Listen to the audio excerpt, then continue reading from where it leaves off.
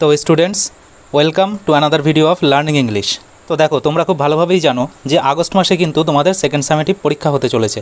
তো খুব সম্ভবত আগস্টের কিন্তু এক তারিখ থেকে আট তারিখের মধ্যে তোমাদের প্রত্যেক স্কুলে পরীক্ষা শুরু হয়ে যাবে। তো তোমরা যাতে এই সময়টা ভালোভাবে কাজে লাগাতে পারো এবং সেই সঙ্গে সঙ্গে ভালো যাতে রেজাল্ট করতে পারো, তার জন্যে আমি তোমাদের ক্লাস এইটের আজ কিছু ইংলিশের সাজেশন দিয়ে দেবো, যেগুলো তোমরা পরীক্ষার আগে যদি ভালো করে দেখে যাও, তো অবশ্যই ভালো রেজাল্ট করবে।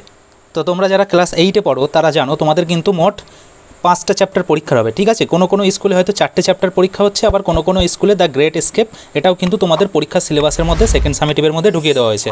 তো তোমাদের কী কী পরীক্ষা হচ্ছে ওভারঅল বলতে গেলে, যে তোমাদের পরীক্ষা হবে সিনের মধ্যে থেকে মানে টেক্সট বই থেকে যেগুলো পড়তে হবে, সেগুলো হলো দ্য গ্রেট স্কেপ সুগত বোসের প্রিন্সেস সেপ্টেম্বর উইলিয়াম সমারসেট মগামের দ্য সি যেটা হলো James Reeves a king's tale এবং দ্য হ্যাপি প্রিন্স, অস্কার ওয়াইল্ডের, ঠিক আছে? এই পাঁচটা চ্যাপ্টার তোমাদের কিন্তু খুব ভালো করে পড়ে যেতে হচ্ছে। তার মধ্যে থেকে কোনো স্কুলে গ্রেট স্কেপ এই চ্যাপ্টারটা পরীক্ষা হচ্ছে, আবার কোনো স্কুলে পরীক্ষা হচ্ছে না। তো সিনের মধ্যে থেকে যে চ্যাপ্টারটা তোমরা ভালো করে দেখে যাবে, খুব ভালো করে, সেটা হলো এ কিংস টেল। ঠিক আছে? এই চ্যাপ্টারটা কিন্তু খুব গুরুত্বপূর্ণ সেকেন্ড সামিটিভের ক্ষেত্রে।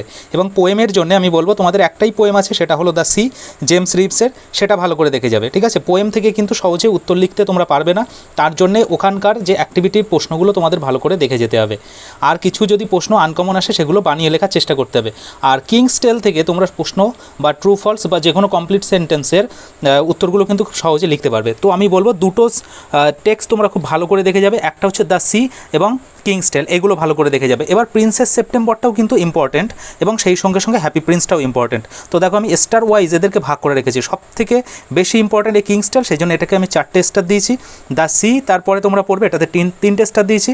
প্রিন্সেস সেপ্টেম্বরে আমি দুটো স্টার দিয়েছি এবং দ্য হ্যাপি প্রিন্স আর দ্য গ্রেট স্কেপে আমি একটা করে স্টার দিয়েছি, ঠিক আছে? তো এইভাবে তোমরা স্টার ওয়াইজ এগুলোর ইম্পর্টেন্সগুলো বুঝবে তোমরা, ঠিক আছে?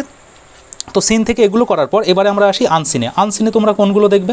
আনসিন দেখো আনসিনে কিন্তু কোনো ধরনের লিমিটেশন থাকে না। মানে তোমরা কোনো কিছু একটা প্র্যাকটিস করে গেলে যে সেখান থেকেই হয়তো আনসিনে সেটা চলে আসবে। এরকমটা কিন্তু কখনোই তোমরা ভাববে না।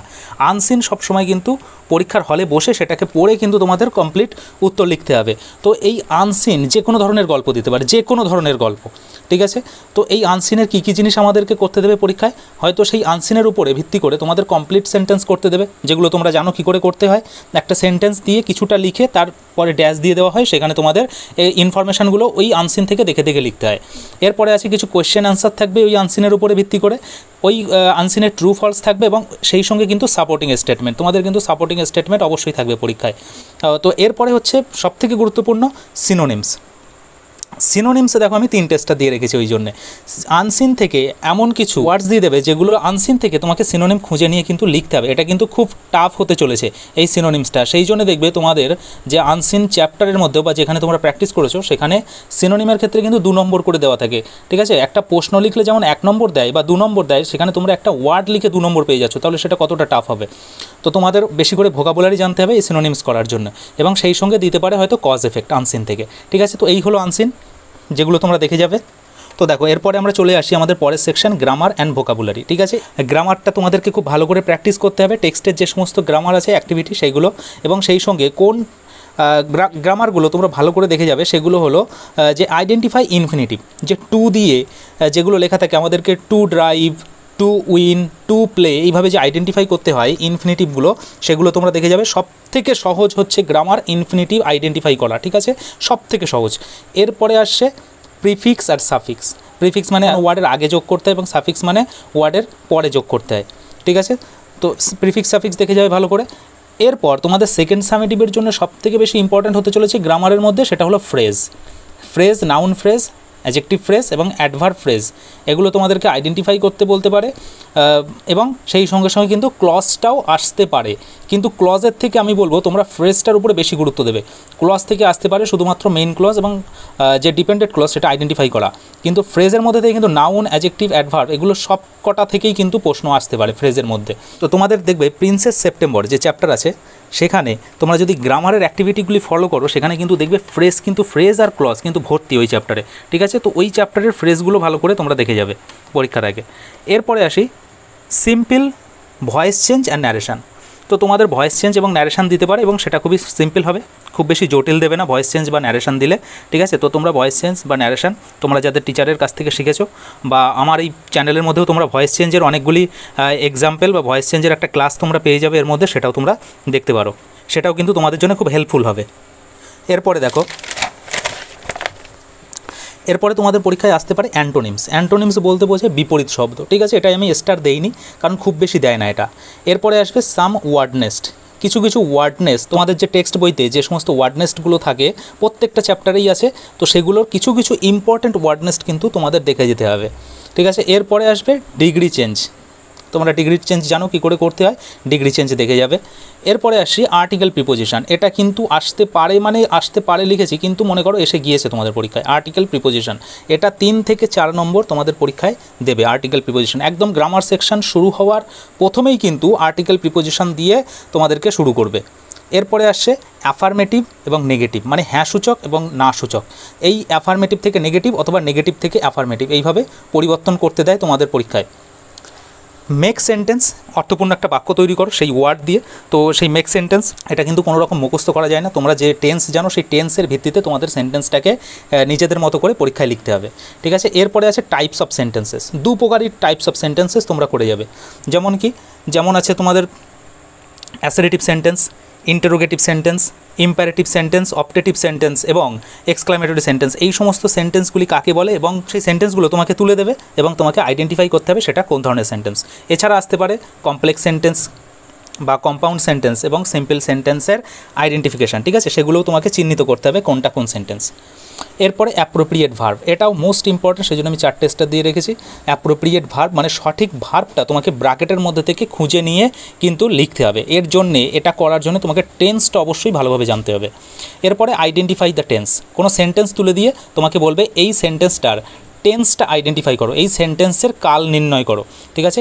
এটাও কিন্তু তোমাদের খুব ইম্পর্টেন্ট সেই জন্য টেন্সটা মাস্ট তোমাদেরকে জানতেই হবে আগে। টেন্সটা তোমরা খুব ভালো করে পড়ে যাবে পরীক্ষার আগে।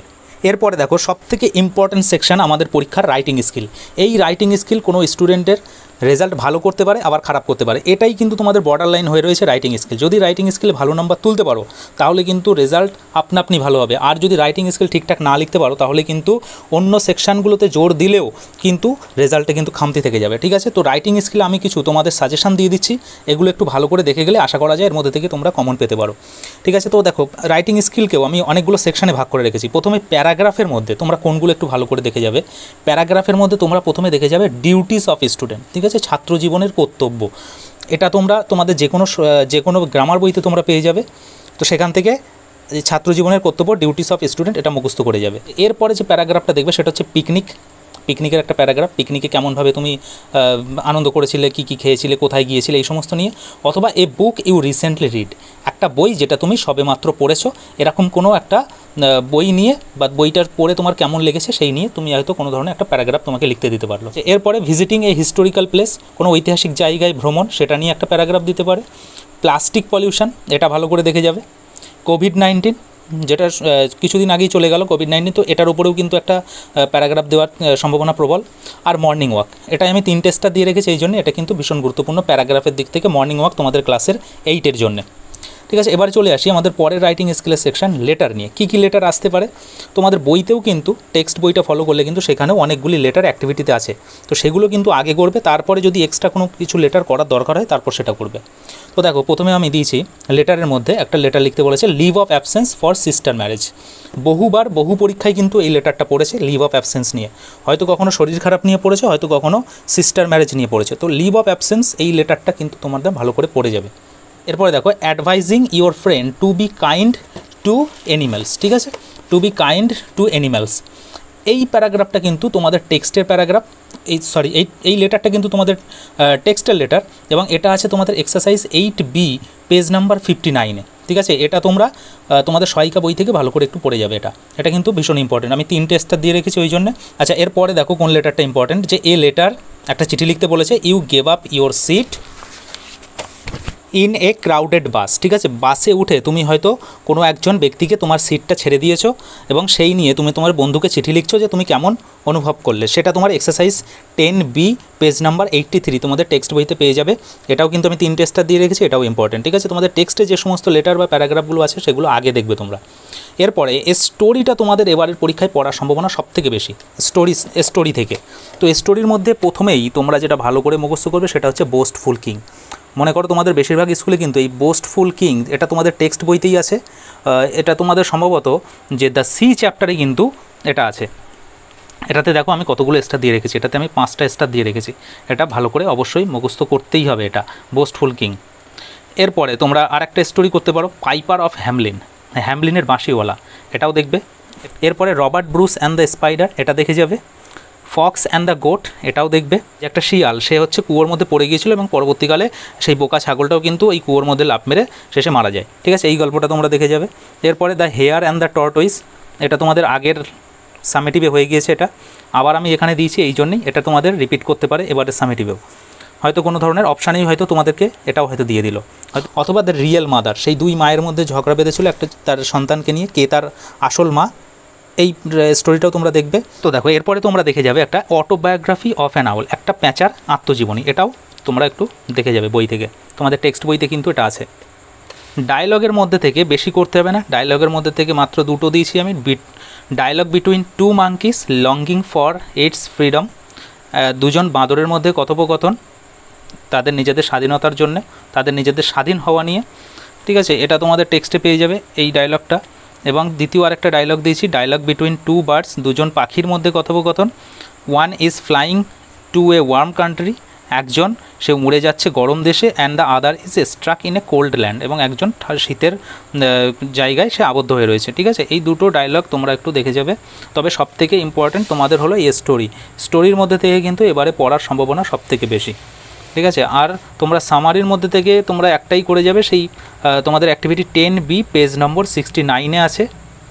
একেবারে লাস্ট চ্যাপ্টারের খলিফা হারুন আল রশিদ বলে একটা তোমাদের সামারি দেওয়া রয়েছে, সেটা তোমরা দেখে যেতে পারো। সাধারণত সামারি পরীক্ষায় দেয় না, তাও আমি দিয়ে দিলাম। এটা তোমরা একবার অন্তত দেখে যাবে, ঠিক আছে? একবার অন্তত রিডিং পড়ে যাবে। কারণ সামারি থেকে তোমাদের সবই লেখা থাকে, সেটা থেকে জয়নিং করে বা কিছু সেন্টেন্স প্রয়োজনীয় সেন্টেন্স সেগুলো তুলে নিয়ে জিনিসটাকে ছোট করতে হয়, ঠিক আছে? তো এটা মনে হয় না অসুবিধা হতে পারে তোমাদের। তো এই ছিল তোমাদের ক্লাস এইটের ইংলিশ সাজেশন যেগুলো আমি তোমাদেরকে সেকশন ওয়াইজ ভাগ করে ভাগ করে দেখিয়ে দিয়েছি এবং সেই সঙ্গে স্টার দিয়ে দিয়ে আমি কিন্তু তোমাদেরকে বুঝিয়ে দিয়েছি কোনগুলো বেশি ইম্পর্ট্যান্ট এবং কোনগুলো অপেক্ষাকৃত কম ইম্পর্ট্যান্ট সেইভাবে তোমরা যে কোনো রাইটিং স্কিল বা গ্রামারগুলো ভালো করে দেখবে, আমি সবগুলোই দেখার কথা বলছি। কিন্তু যেগুলোতে আমি স্টার দিয়ে দিয়েছি তিনটে অথবা চারটে, সেগুলো কিন্তু তোমরা ভালো করে দেখে যাবে। কারণ ওগুলো থেকে কোয়েশ্চেন দেওয়ার সম্ভাবনা সব থেকে বেশি। ঠিক আছে? আর সেই সঙ্গে টেক্সটের যে সমস্ত অ্যাক্টিভিটিগুলো আছে, সেগুলো রিভাইজ দেবে, প্রত্যেকটা রিডিং রিভাইজ দেবে এবং আনসিনগুলো তোমরা দাফেন্দাত বা অন্য যে কোনো প্রশ্নবিচিত্র থেকে একটু প্র্যাকটিস করবে, ঠিক আছে? আনসিন কমন পাওয়ার জন্য আমি বলছি না প্র্যাকটিস করতে, আমি বলছি যাতে আনসিন লেখার একটা অভ্যাস তৈরি হয় যাতে পরীক্ষায় গিয়ে তোমরা কোনোভাবে সেই আনসিন করতে গিয়ে জড়িয়ে না পড়ো। তো আজকের ভিডিও এখানেই শেষ করছি। আবার হাজির হব ইংলিশের অন্য কোনো টপিক নিয়ে।